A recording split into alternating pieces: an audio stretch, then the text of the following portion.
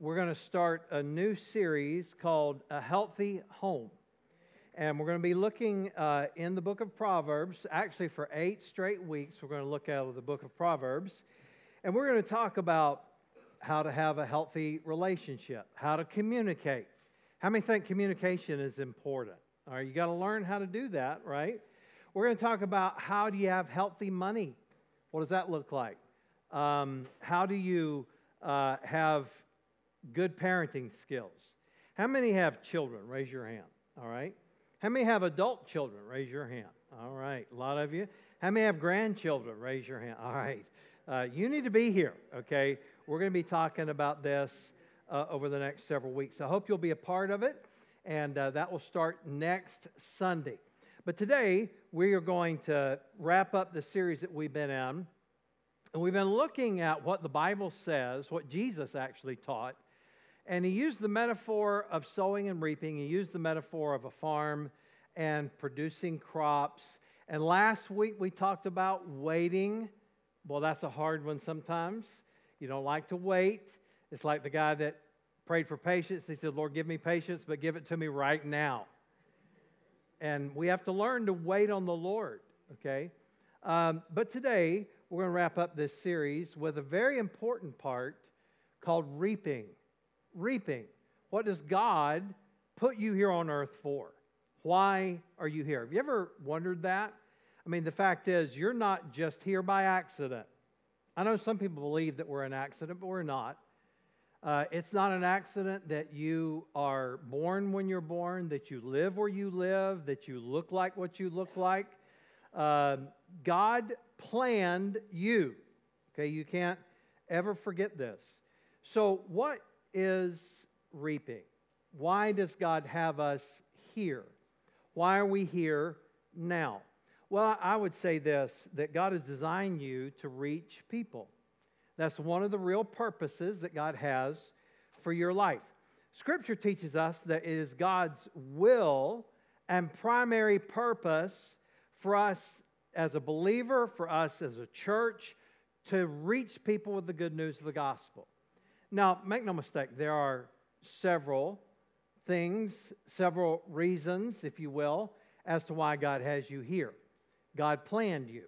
You're not an accident. Why does God have you here? Well, one of the main purposes is that you're to worship God. That's what God has created you for. That is the one thing you'll do throughout all of eternity. God created you to worship Him. God created you to love Him. God created you so that He could love you. God created you also to love others. Uh, we call this fellowship. We call this serving.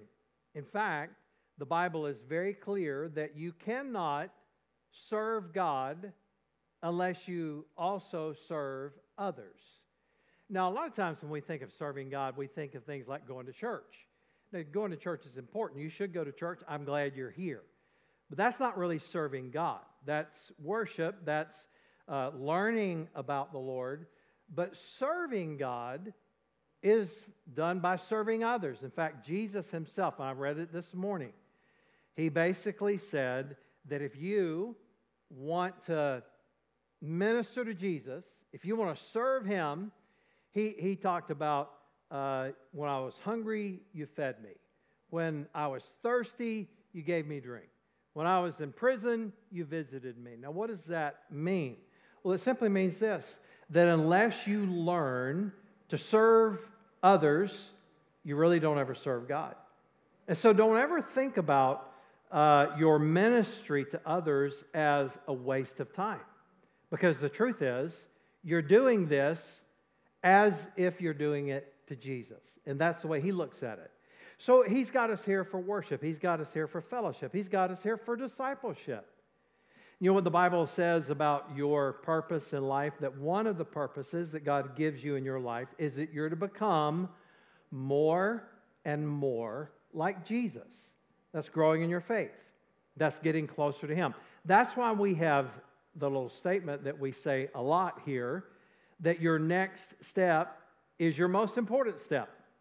Now, I got saved when I was eight years old. I've been a Christian now for over 50 years. Now, you would think that if you've been doing something for 50 years, maybe you got it figured out by now. But if you've been a Christian for very long, you know that you don't ever fully have it figured out. That's why we say your next step is your most important step. The idea being that you never stop growing, you, you never stop learning, you never stop following.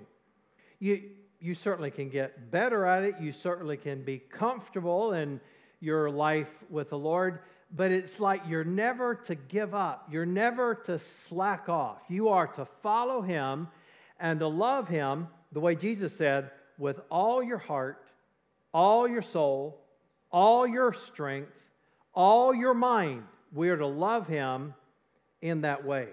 So, why are we here? Well, we're to serve God by serving others. Did you know that you can't see God?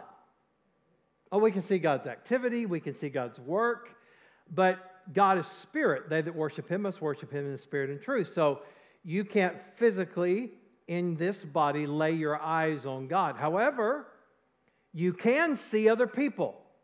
And so, what God has called us to do is to serve Him by serving others. So, He has us here to love Him, He has us here to grow, He has us here to worship Him. He has us here to serve Him by serving others. In fact, Jesus wrapped all of Scripture up, he said, in two commands that we're to love God and we're to love others. And so, if we're doing those two things, then you're really doing what God has called you to do, what God has left you here to do to love God and to love others. Now, the way that this I believe, is most fleshed out, if you will, most lived out, is something that Jesus said was the reason that he came, his primary purpose.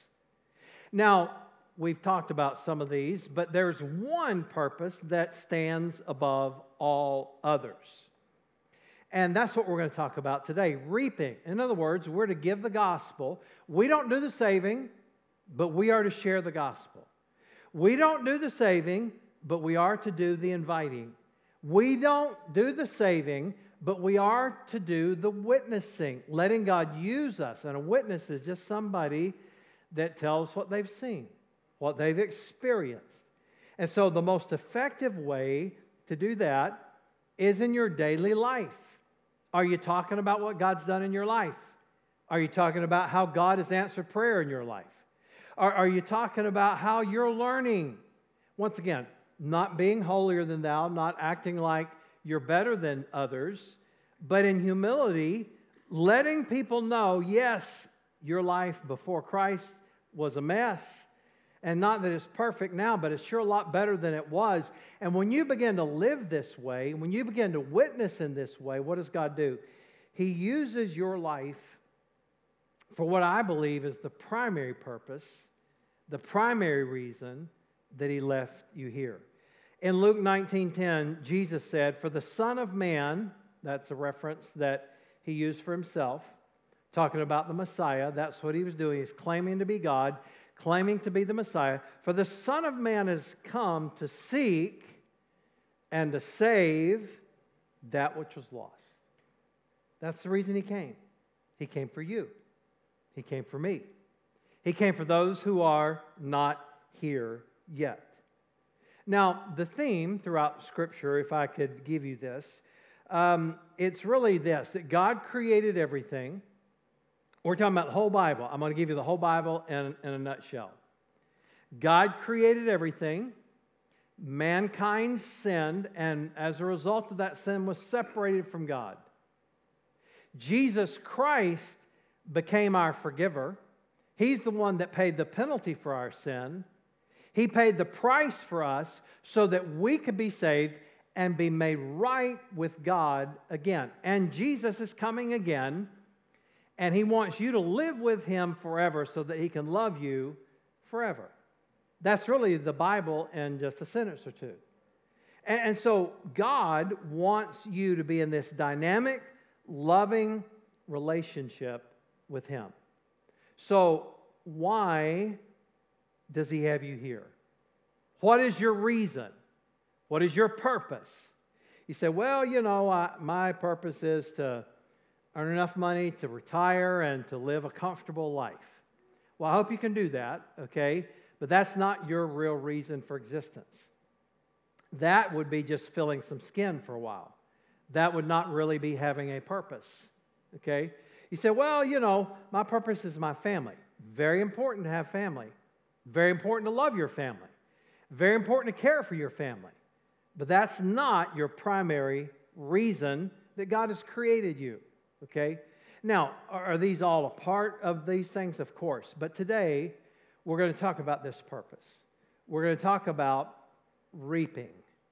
Reaping, as in seeing people come to know Jesus Christ. Well, I want to read to you from a passage that, if you've been in church much, you've heard or probably read before. And it's in John chapter 4. In this chapter, Jesus and his disciples, they took a big risk.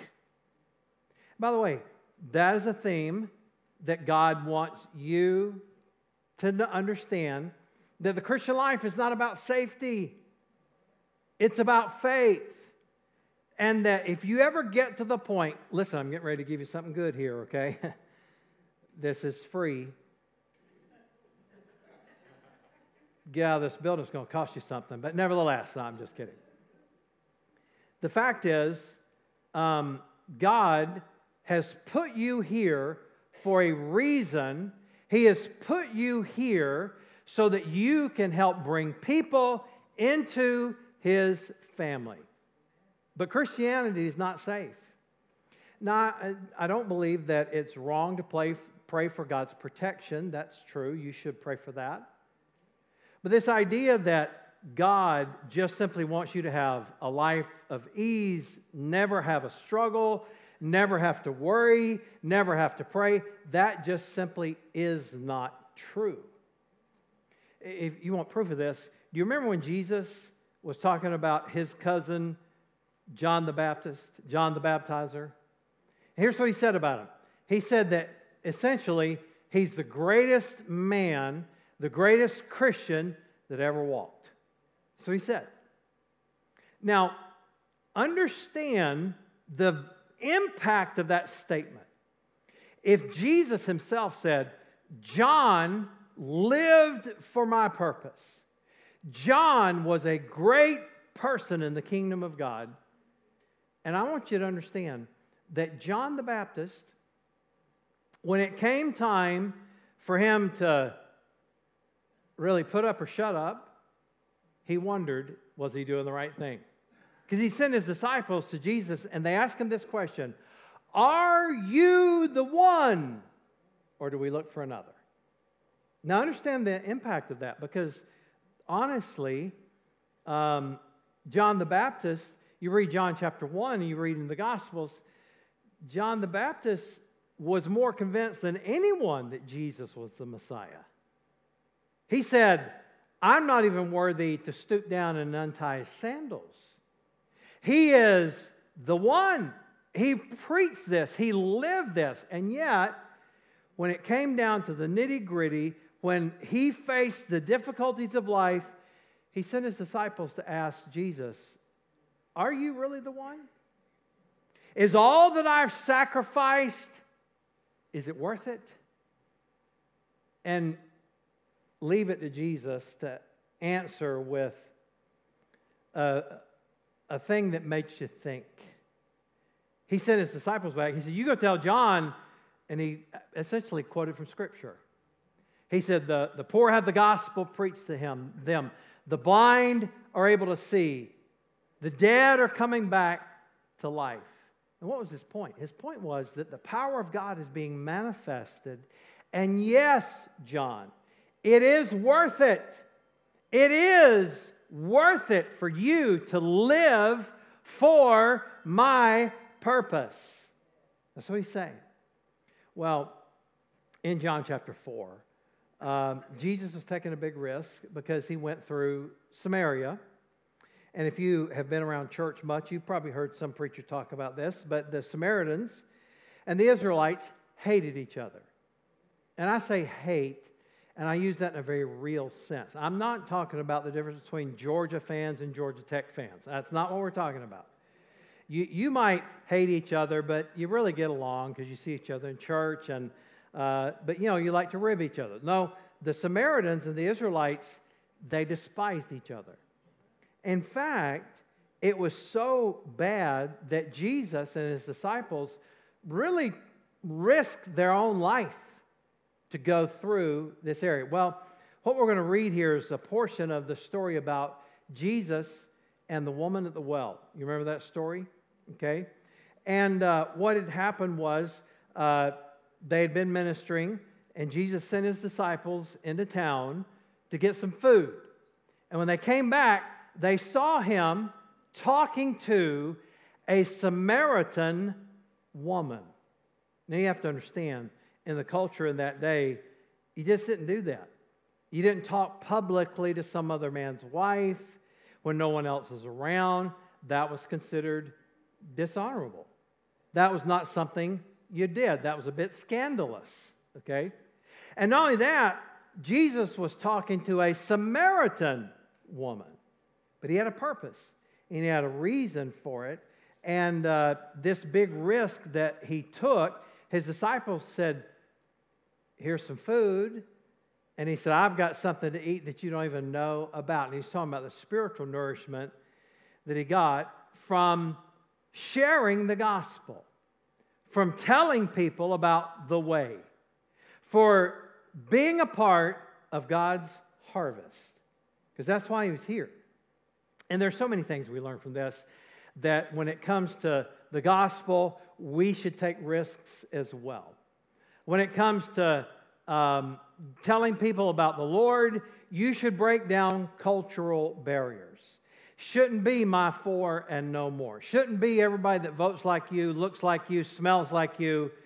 It's for everyone. There's so many things we can learn. We learn about the nourishment that comes from doing the will of the Father. But let's look in John 4 and verse 34. We'll just read about four or five verses.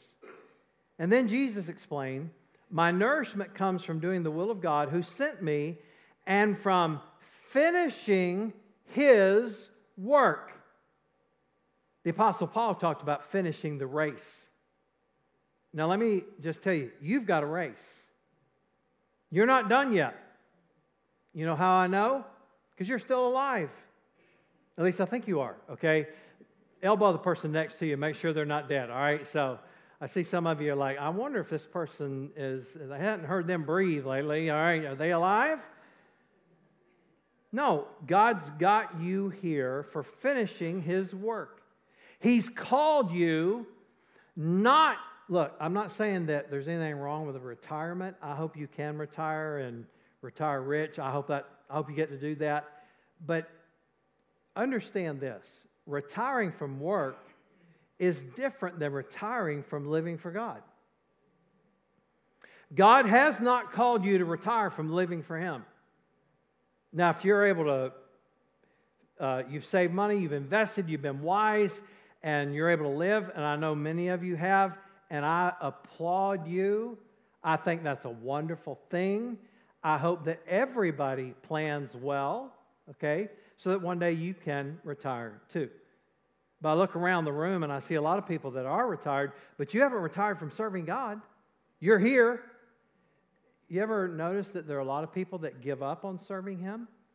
They just kind of get out of the race. Well, God says we're to stay in the race. He said, My nourishment comes from doing the will of God who sent me and from finishing his work.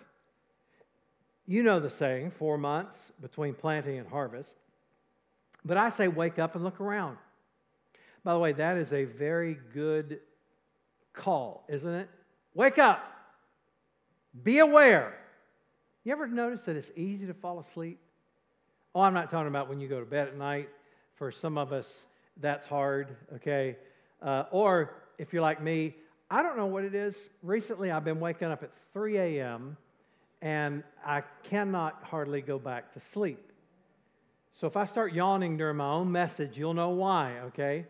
That's not what we're talking about. Wake up, be aware. Jesus said, Wake up and look around. The fields are already ripe for harvest.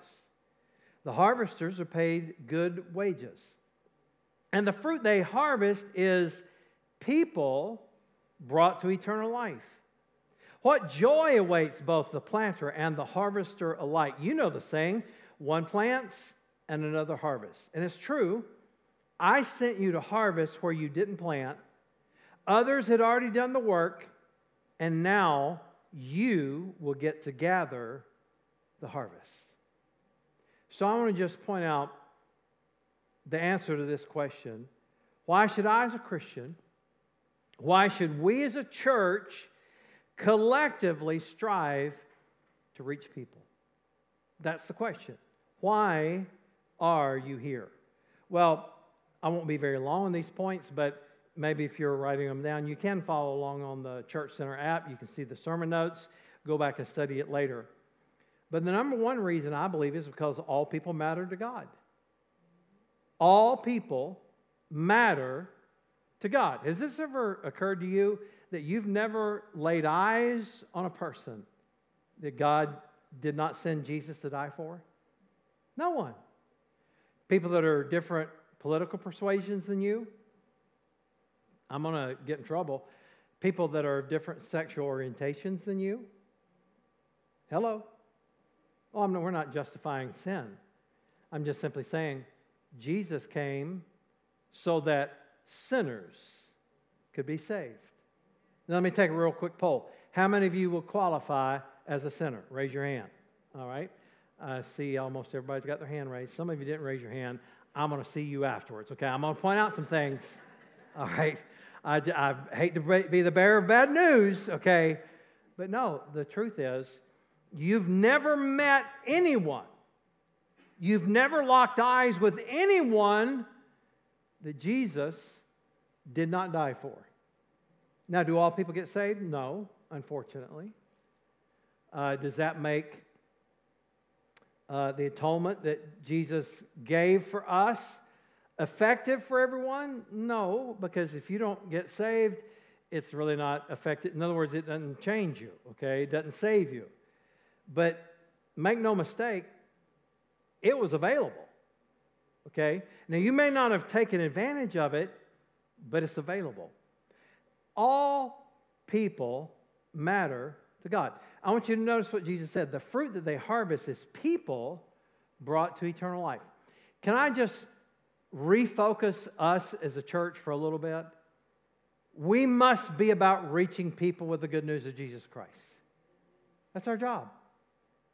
And if we ever cease to keep that as a priority, we really cease to have a reason to exist as a church. Look, I, I love all the things that we do as a church. I love the fellowship. Hopefully, you learn from my teaching and preaching. You grow in the Lord. Uh, man, we do a lot of good things here. But if we ever stop reaching people with the good news of Jesus Christ, we cease to have a real reason to exist. God's called us to this. I love the fact that we got people in this room today that have met Jesus, gotten saved, we got some teenage boys that are here today. Uh, Tyler in the back, Jordan, uh, a couple of our teenage boys that not too long ago got saved and baptized. And uh, we have children in our children's ministry that get saved and baptized. We have adults. Many of you have been saved and baptized through the ministry of this church. And let me just say, we must, we must continue to do that. That's why we're here. If we ever start thinking it's just about our four and no more, then we cease to really have a reason to exist as a church. Number two, reaching people is God's will for my life and for the church. Did you know that? You don't have to wonder if you're praying in the will of God, if you're praying for people to be saved. Did you know that? I mean, there may be some things that you are not sure if they're the will of God. Lord, I'm thinking about getting this kind of car. Would you show me if that's your will or not? Lord, I'm thinking about buying this house or moving to this apartment or changing to this job. or getting my hair cut in this way or wearing this outfit. Those may be things that you're not sure of. But the Bible says that He is not willing that any should perish, but that all should come to repentance. Does that mean everybody's going to get saved? No, it does not. But it means that God wants everyone to respond to the gospel. You don't have to wonder if that's God's will. You don't have to pray and say, God, should I invite someone to church? Should I tell people about what God has done in my life? You don't have to pray about that. You know that is God's will for your life. And can I tell you, the more we take this seriously, the more opportunities we're going to have. A number of years ago, uh, there was a man that came to our church. He and his family have since moved to Florida. Um, but when he came, his wife, her best friend, was getting baptized. And so she said, We're going to go watch our friend get baptized. Well, this man, uh, he came up in, this service. He came, made a beeline for me after the service. He came to me, he said, I just want you to know I will not be back. And I'm like, oh no, I offended someone else. Um, and he's like, no, I just want you to know I don't go to church because I don't believe in God. I said, okay, well, I'm glad you're here. The next Sunday, I looked up, and there he was, sitting right in the audience. And he came up to me that Sunday as well. He said, I just want you to know that I don't believe in God and I will not be back in this church. I said, Okay, good to see you. Two Sundays in a row. For six straight Sundays, he came up to me every Sunday after the service and told me, I won't be back. I don't, and I finally, I said, You got to hush. The fact is, you say you don't come, and you've been six weeks in a row. He said, Well, I don't believe in God. And, and I called his name. I said, I hate to tell you this, but God's speaking to you. That's why you're coming. And he's like, Oh, I don't know about that. Well, the next Sunday, he showed up again. And uh, he came up to me afterwards, and he looked like he was ready to get in a fight with me. He had, his face was red, he was bloodshot eyes. I thought, oh no, he's going to take a swing at me. And he, he came in, his voice is trembling, and he said, I don't know what you're trying to pull here. I said, What do you mean? He said, This nonsense of whatever you're trying to do, I don't know what you're. I told you for six Sundays in a row. I don't go to church. And every Sunday I wake up, and I say, I'm not going back to that church. And I find myself here. I do not know what you're doing. And I told him, I said, dude, if I had that much power, I get into your bank account. Okay, so I don't have that power. And I told him, I said, look, what's happening is God is speaking to you. He goes, oh, man. and well, anyway, I knew he was a very intellectual guy. And he traveled a lot. And I told him, I said, let me challenge you on something. I said, I want you to read the book of Romans. This guy was an engineer he had his degree in that, very analytical thinker. I said, one of the greatest pieces of literature that's ever been written in human history is the book of Romans. I said, you need to read it because you're very intelligent and tell me what you think. Well, the next Sunday he came up. He didn't have a scowl, he had a smile. I said, What happened? He says, Well, I did it. I said, You did what? I thought he meant he read the book of Romans. Oh, I read the book of Romans. He said, I read it about five or six times. And I did it. And I, I think I knew what he was talking about. I said, What do you mean? What did you do? Because I was going to make him say it. He said, I did that thing you talk about every Sunday. I said, What thing's that? And he just went, I gave my life to Jesus.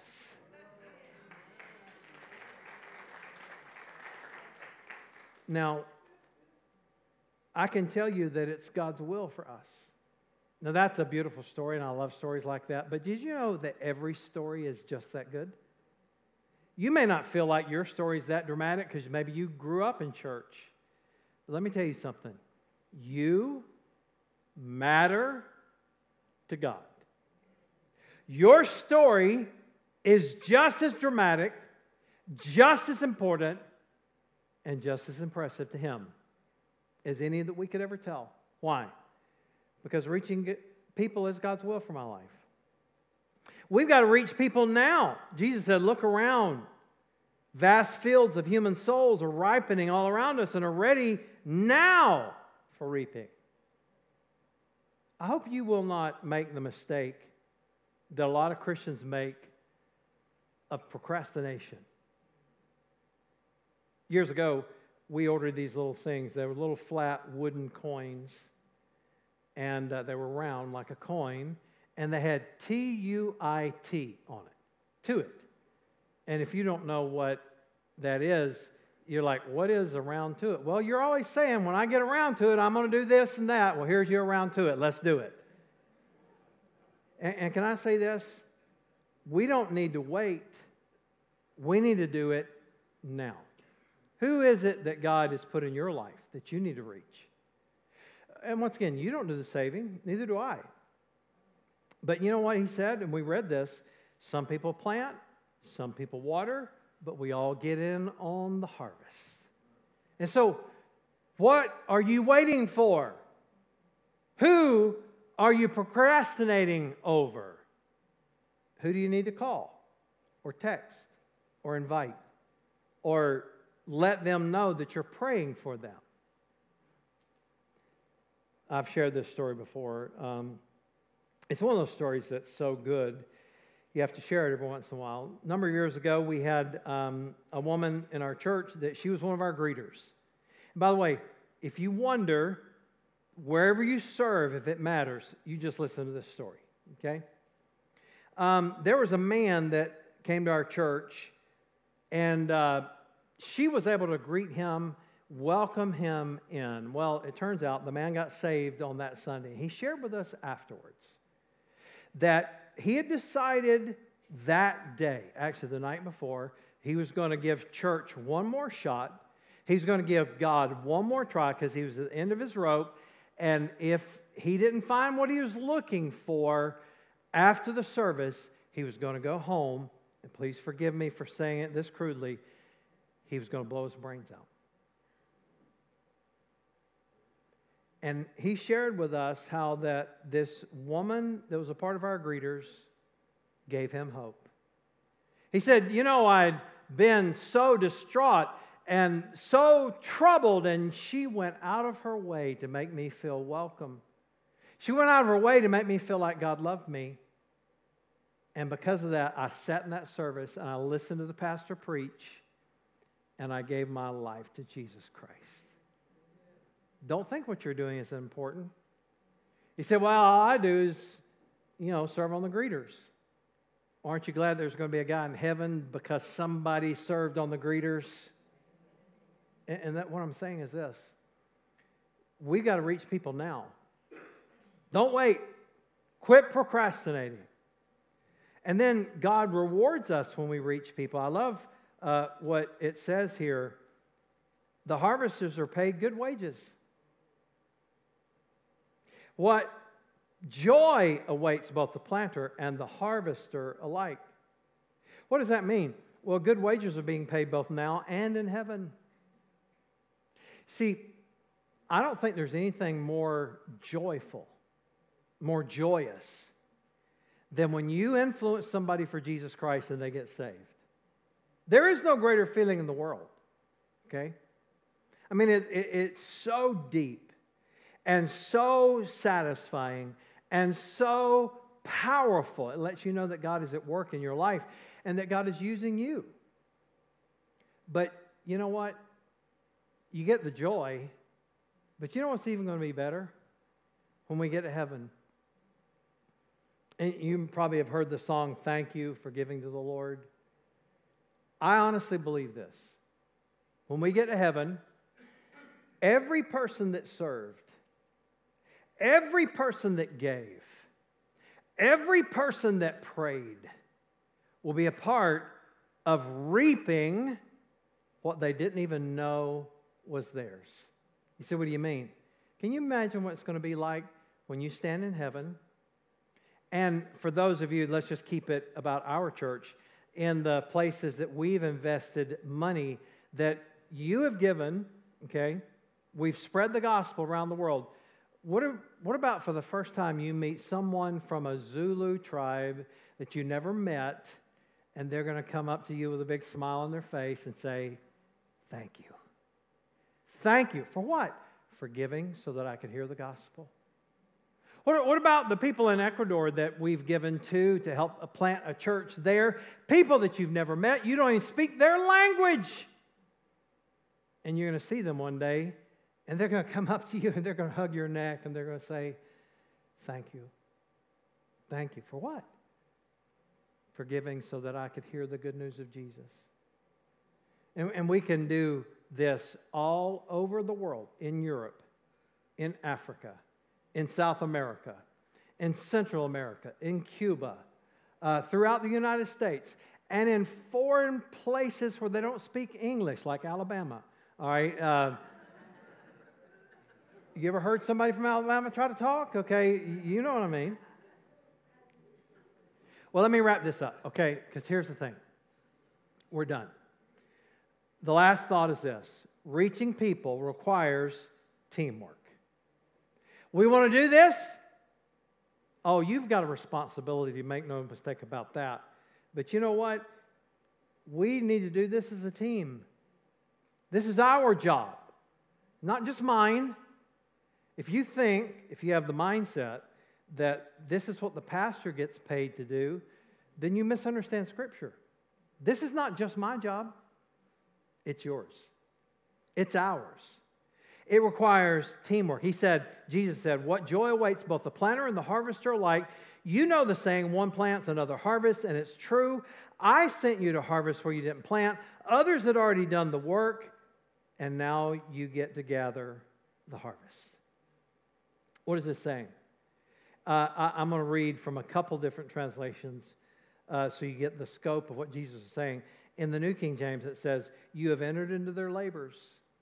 We enter into our labor together, it's collective. In the NIV, it says, You reap the benefits of their labor. In God's Word translation, uh, the person who harvests the crop is already getting paid. He's gathering grain for eternal life. So the person who plants the grain and the person who harvests it are happy together. They all write a song. Happy together, however you say it. All right. Now you know why I don't lead worship. All right, so what is he saying? He's saying it's teamwork. We get to do this together. We get to see God at work when we obey Him. That's what he's saying. 1 Corinthians 3 7 and 8. It's not important who does the planting or who does the watering. What's important is that God makes the seed grow. Make no mistake about it. You play a part in that God wants you to be a witness. God wants you to share the good news. He wants you to take your next step. He, he wants you to do that. But God does the saving. I don't. I, have I've had people mistakenly, and they misunderstood what this is about, and they would refer to people that got saved as my converts. Let me tell you what I saw one of your converts doing. I'm like, hold on. I don't have any converts. Because if they're my convert, they're not saved, okay? They're God's, okay? Now, does that mean that everyone that gets saved is perfect? No, you know better than that. But the truth is, God says it is a team effort. Well, let me, let me close with this. Matthew 9:38. Therefore, pray earnestly to the Lord of the harvest to send out laborers into his field. I want us to end today praying that God will anoint us give us opportunity, give us ears to hear, give us a heart to obey so that we can reach people for the kingdom of God. That's our job. That's why we're here. And um, God just simply says He wants to use you. And I hope you'll let Him use you. Um, why? How? You know, every time you give, every time you serve, every time you participate, every time you pray, praying for loved ones, praying for neighbors, praying for people that you work with, praying for your kids' classmates, praying for people that you don't even like. Okay? By the way, if the only people that ever got saved were the people we like, that'd be, that'd be bad, wouldn't it? Because I got bad news for you. There's somebody that didn't like you. Aren't you glad you're able to be saved? Okay? Every time we give, what does it do? Well, I, I've had people ask me, how much ministry can you do for $100? I said, about $100 worth. So every time we give, every time we serve, every time we step up, every time we pray, every time we invite, what are we doing? We are fulfilling why the reason why God has us here. And so let's let's do it. Let's do it. Let's start today. Go home today and think about somebody that you can pray for. Somebody that you can invite this week. And then we can pray with honesty Lord, send forth laborers into your harvest. Heavenly Father, I pray that you'd help us to be just that laborers in your harvest, witnesses for you. Help us to live for your purpose, live for your reason. And Lord, we'll thank you and praise you for all that you do. In Jesus' name, amen. Amen. Let me encourage you today if you have not been saved. We've been talking about being saved.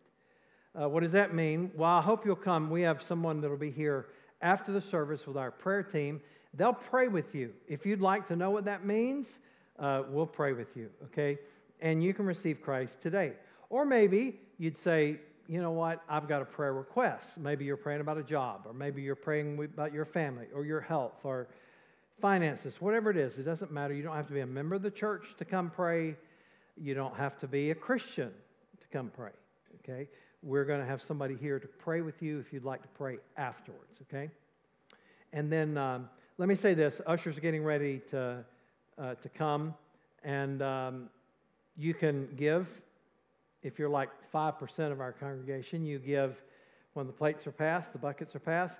But if you're like most people, you give online by texting to give or through an app. Ushers, you go ahead and come. And while they're coming, let me say this. If today you have not been, and I repeat, not been through our Next Step class, but you'd like to know what it means to be a member, you'd like to know a little bit about it, I've got a brochure that I'd like to give to you. So let me put everybody on the spot. How many have been through some form in the past of a next step class, a membership class? Raise your hand. Raise your hand, okay? All right, put your hand down. How many have never been through one of our membership classes? In other words, you didn't go through whether it was back here, it was after the service, it was during a weeknight, or some other time, but you've never been through that. Raise your hand. Raise your hand, okay? A few of you. Here's what I want you to do look right this way. I want to meet you in this room to the right. I, if you don't have time to stay very long, I just want to give you a brochure, okay? that'll explain it to you, and you can learn what it means to be a member. By the way, you know one of our sayings is here? That participation is membership. Our goal for you is not to get you to sign on a piece of paper. Our goal for you is to participate. That's our, that's our goal. That's what membership is. And so, anyway, you see me afterwards. On the way out, I'll give you one of these brochures. And um, Thank you for being here today. I love you. God bless you.